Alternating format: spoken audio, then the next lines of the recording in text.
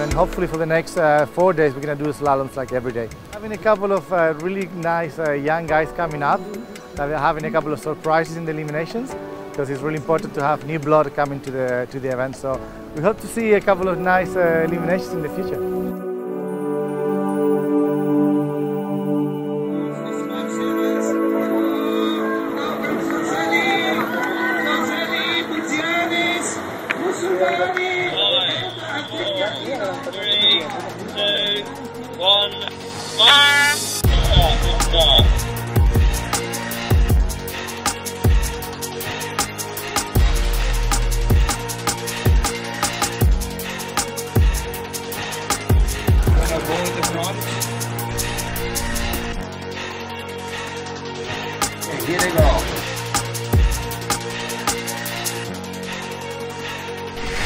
had a okay start, but uh, not uh, in the front. Like I was uh, third at the beginning, then uh, fourth and fifth yesterday night, and uh, today I managed to come back uh, with the second discard and uh, with a first place and a third place uh, for today. So it was uh, was good.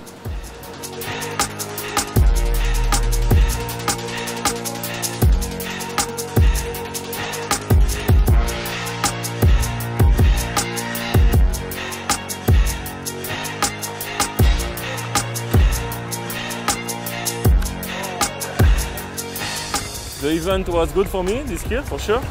I start really good because I win the first uh, winner final. It was a good start. Yes, I'm really happy to make this because it's my first uh, it's first time I win uh, a winner final in, in. Finally, I'm three, but I'm really happy of this result. It's first time I make a podium.